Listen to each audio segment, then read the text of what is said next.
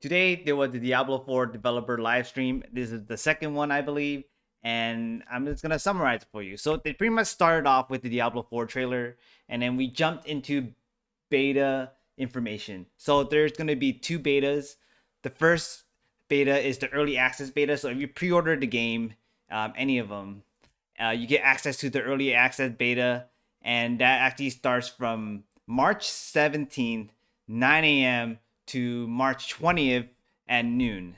And this one, you only have access to three classes the Barb, the Barbarian, the Sorcerer, the Rogue. And then the second beta, there you get access to all five classes. And this is going to be open to anyone. You don't need to pre order the game. And that starts on March 24th at 9 a.m., which is the same time, to March 27th at noon, which is the same time they mentioned the world boss, and there's gonna be one world boss that's gonna spawn during the beta, and it's gonna spawn during the Saturdays of the beta in four different times. Times haven't been announced yet, so gather your friends.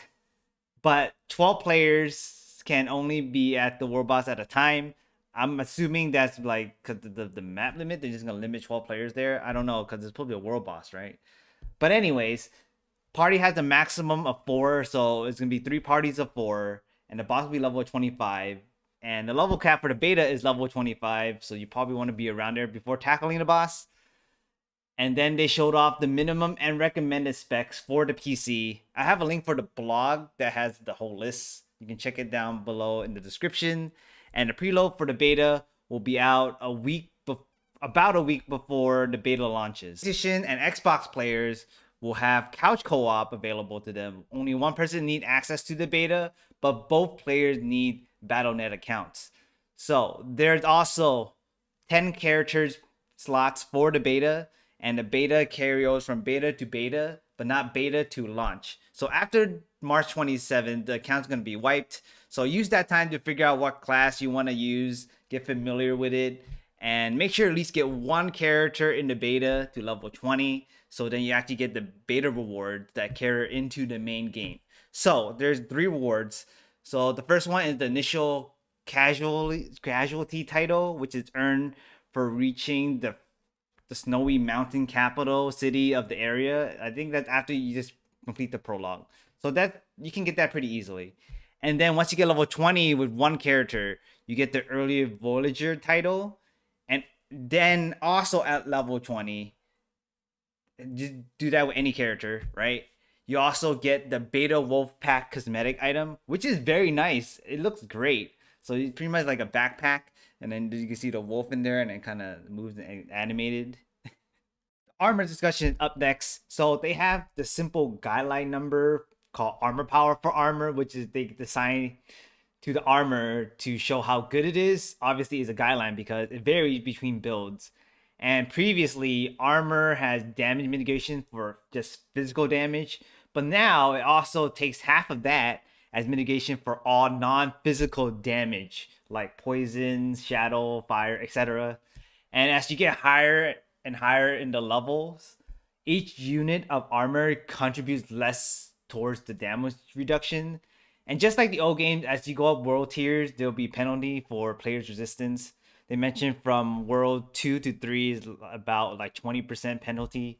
There are other ways to get elemental resistance and armor as you get stronger from other systems like skill trees, a Paragon system, etc. And before they scale the monsters only by increasing their hit points, and then the numbers will get huge and players will talk about it and complain about it. Now they have monsters that also have armor, so then the damage will be uh shrink shrunken, I guess. So then it won't take up the screen because now I think they have numbered counters that pop up as you're dealing damage.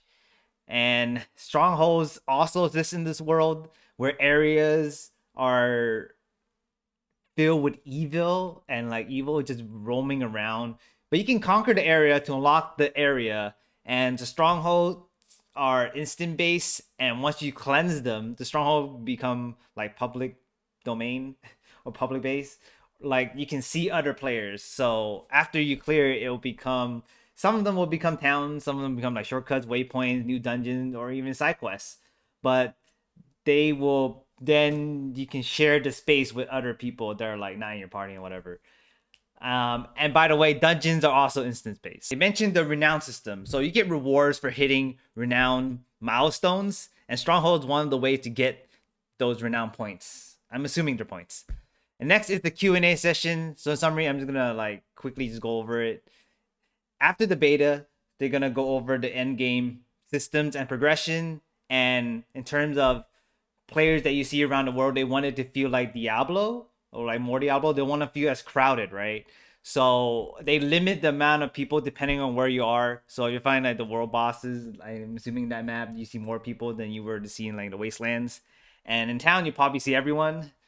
Then they also mentioned about beta, right? You can stream it. There's like no NDA or anything. So I will be streaming it myself on Twitch, twitch.tv slash Vinsonte same name as on here.